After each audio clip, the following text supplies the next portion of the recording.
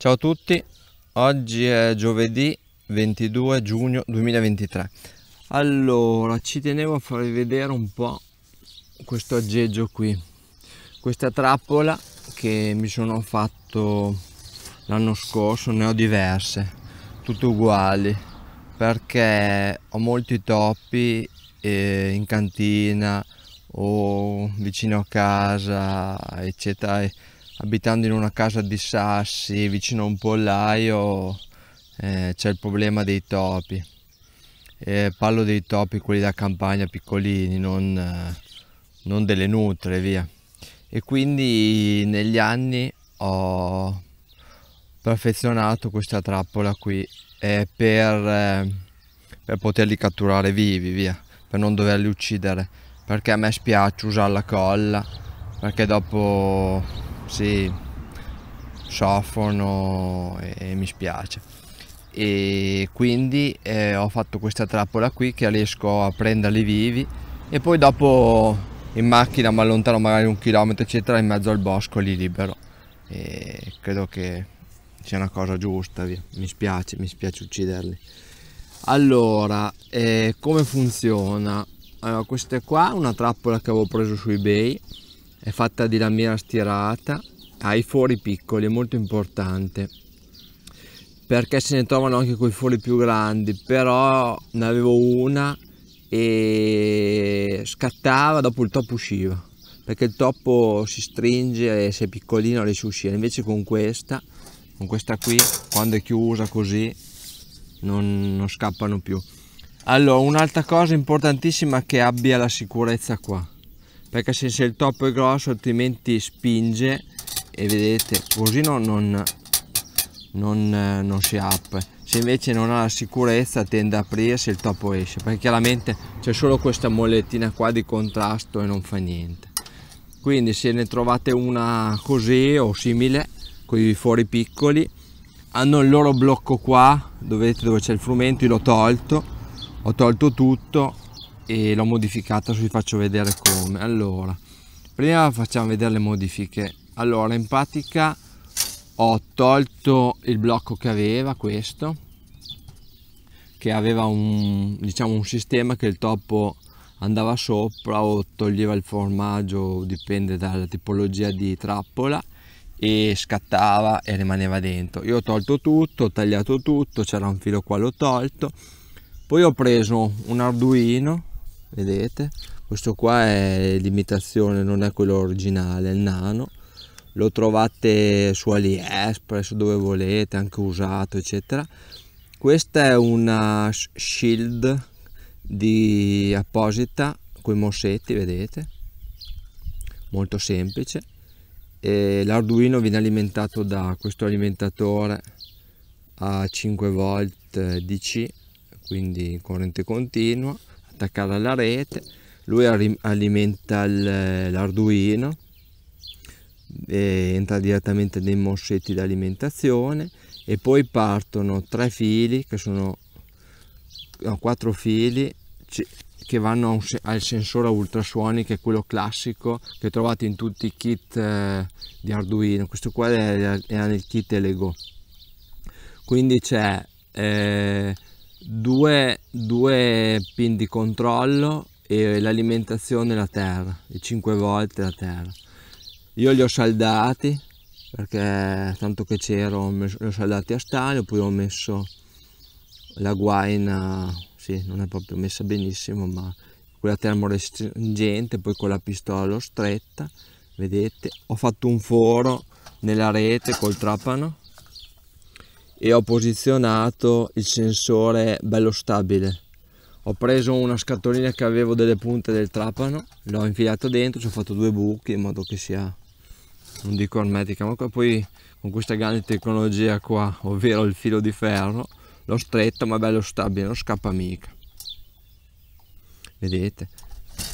E poi eh, dopo uh, per praticamente lui dal codice va a leggere la distanza che c'è tra, tra il, la parte alta e la parte bassa che va tarata in, nel codice appena lui rileva un cambiamento di, di questa distanza attiva questo servomotore il servomotore come funziona? Appena attacco la, la, la, la spina da codice lo faccio, tornare, lo faccio girare di, di 90 gradi in, questa posizione in modo che mi, adesso qui non ho la luce da farvi vedere. Praticamente vi va, va a chiudere la trappola. Questo becco scatta e lo chiude. Poi la, la trappola diciamo rimane così adesso eh, è ferma, non, non, la tiene ferma chiaramente il servo adesso perché non è attivo. Lui appena rileva un cambiamento di, di, della distanza che, che tariamo noi in base alla trappola, in base al codice che andremo a fare, lui eh, sposta il servo, chiaramente la trappola va tenuta così in tensione, lui appena rileva un cambiamento fa ruotare di di 90 gradi il, servo nella posizione come adesso e la trappola chiude così. E il topo non scappa più. Per attrarre il topi potete utilizzare il frumento un grano, tenero oh, e altrimenti certi usano delle patate. Il formaggio è meglio di no. Ho provato anche con la nutella ma mm, non funziona. Io mi trovo bene col frumento. Un po' di frumento, lo mettete, magari lo mettete tutto il percorso, li mettete, vedete, una piccola, questa qua è masonite, sarà 2 o 3 mm, vedete che staccata, è mobile, vedete, in modo che il topo vada lì in cima e appena, appena va sotto il sensore, tac, scatta.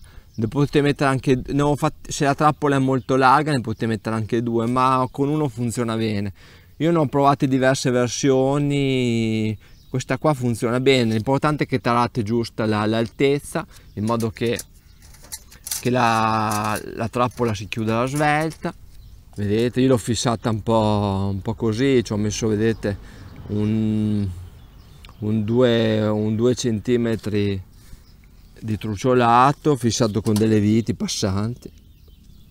E, e poi vabbè tirati i cavi qua i tre cavi del, del servo sono questi eh, i 5 volt ehm, la terra e il, il, il, il filo di, per comandarlo e poi vedete tutto e poi c'è la shield con l'arduino alimentata da questo alimentatore. Poi è una scatola di derivazione comunissima dopo si chiude tutto così vedete.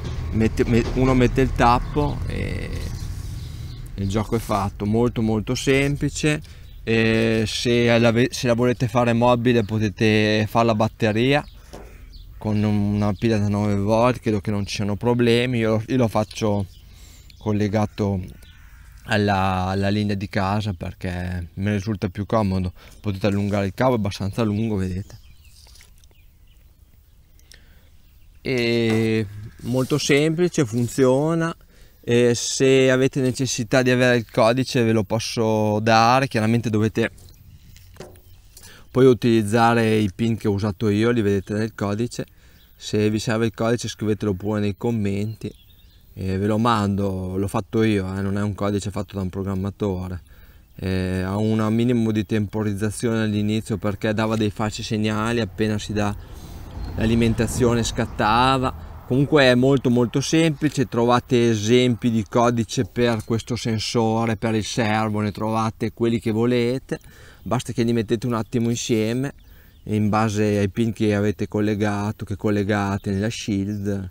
È molto molto molto molto semplice. Una cosa proprio da fare se avete un figlio e volete divertirvi un po' vi mettete lì un pomeriggio lo fate, vi divertite un po', lui impara a usare Arduino che è una cosa molto importante secondo me per i giovani sapersi divertire costruendo delle cose io lo faccio così per passione.